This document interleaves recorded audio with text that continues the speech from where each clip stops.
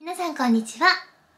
今日は外が雨なので、ハモと鮎の塩焼きで飲もうと思います。鮎は内臓を取って塩焼き。やまんばやまんば。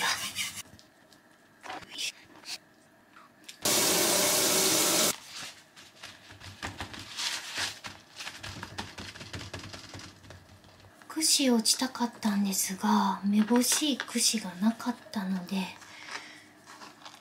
通にグリルで焼きます。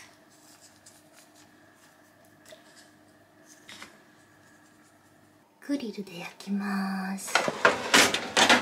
続きましてハモ。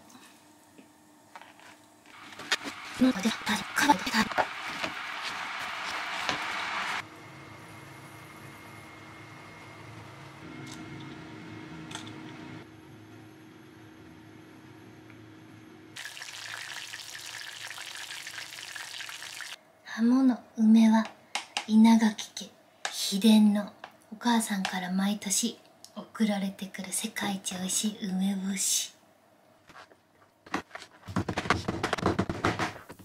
できました美味しそう今日は日本酒でやりますこのサイズ売っててくれるの助かる